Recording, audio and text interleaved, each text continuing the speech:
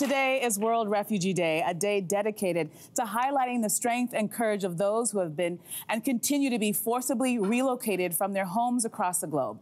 It's something our next guest knows a lot about. She is the head of engagement at Rainbow Railroad, an organization that works to safely relocate LGBTQI plus people around the world. But she was also relocated through the organization herself, having grown up in Jamaica under constant threat for her sexuality and activism activism. She joins us today in studio. Please welcome Latoya Nugent. Welcome great to have you here for this very important conversation. But I want to start off, there's a lot of misconceptions about what or who a refugee is. So let's start there. In what ways do you think people are limited in the way that they think about refugees? So the first thing that comes to most people's minds when they talk about refugees is the security threat uh, that they claim that they are to the country they're relocating to.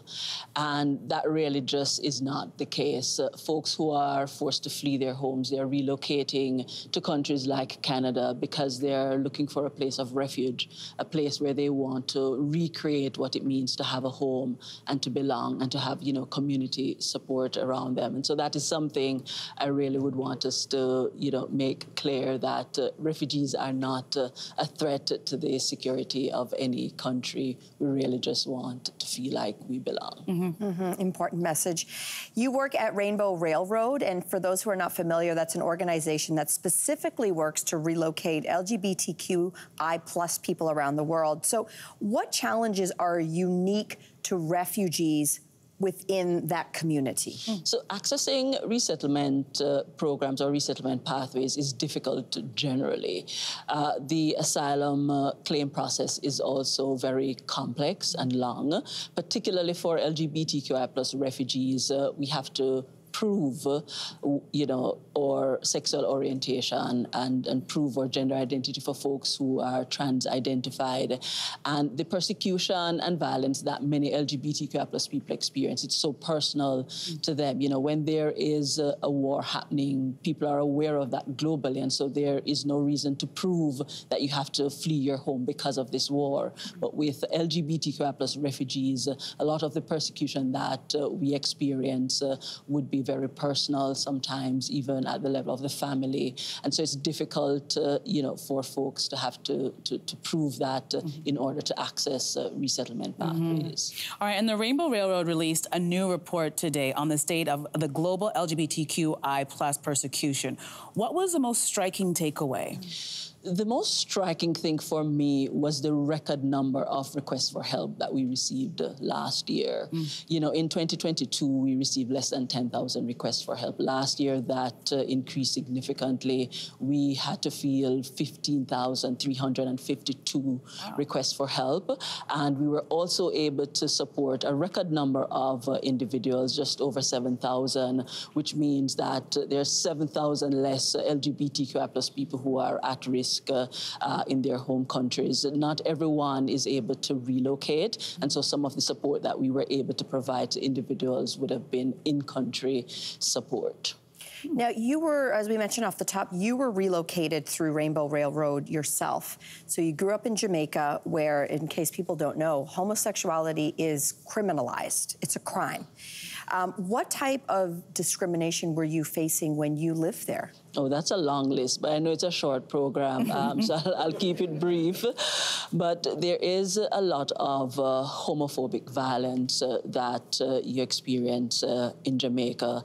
It's also a little bit more difficult for women who identify as queer. You know, I experienced a lot of uh, threats of homophobic rape. There's a lot of sexual harassment that you have to experience uh, on the street. Um, I also experienced, you know, persecution at my place of work. You know, there's discrimination because uh, people knew of my sexual orientation. I was also an activist uh, back in Jamaica and the Caribbean more broadly, and that makes you a target, uh, you know, and you, so you become a victim of state-sponsored homophobia and transphobia. So there's quite a bit uh, that you have to navigate. There's also a lot of displacement that occurs, a lot of homelessness uh, that occurs, uh, you know, for people who identify as LGBTQI because of the widespread discrimination mm-hmm. and uh, violence that uh, we experience mm-hmm. as LGBTQI plus. Mm, so you never felt safe, which kind of leads me to my next question because we're talking when we're talking about the urgent needs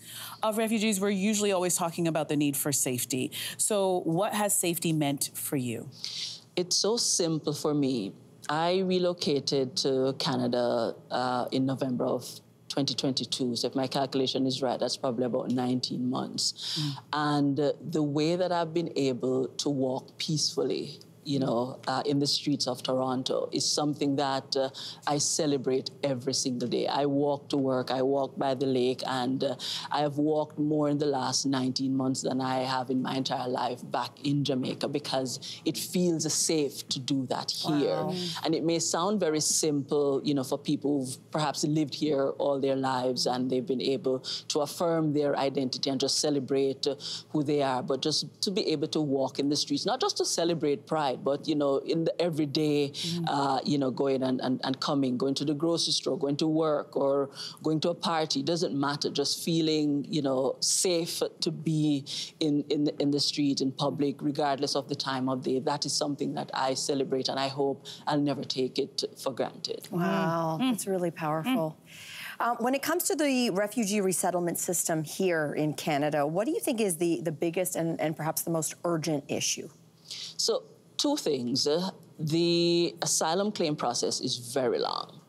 And so when people make a claim, they, they have to spend a lot of time trying to navigate that asylum um, process. The other thing is uh, housing. You know, we know that housing is a challenge in the GTA, uh, but beyond that, for LGBTQI plus people specifically and LGBTQI plus refugees, uh, it's really difficult for them to access affordable housing because they don't have a support network here.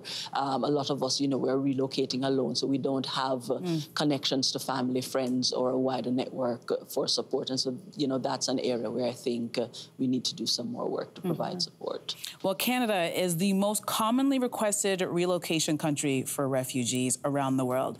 So, how can we help refugees living within our own communities? So, there's simple things you can do. The first thing I would recommend is that you donate to Rainbow Railroad mm-hmm. because we need funding to be able to you know, take on this work. The other thing I would also recommend is that you volunteer with the organization because in volunteering you can provide tangible uh, support to individuals after they relocate. And we currently have a program with Refugee Housing Canada where for, you know, Canadians who have a spare bedroom or if you're fortunate enough uh, to have one, two, three, or four additional apartments and you're able to make that uh, accessible to LGBTQI plus refugees at below market rates. I think those are three very tangible things that people can do to support the community. Mm -hmm. Well, thank you for sharing your story and for all the work that you continue to do. Thank you. Thank you. So, how about this? You can visit rainbowrailroad.org. That is rainbowrailroad.org if you'd like more information on how you can help, or better yet, even donate to this urgent cause. There, what did you think? Drop your comments below and join the conversation. And don't forget to like and subscribe so you can find more on everything from food and fashion to pop culture and current events. See you soon.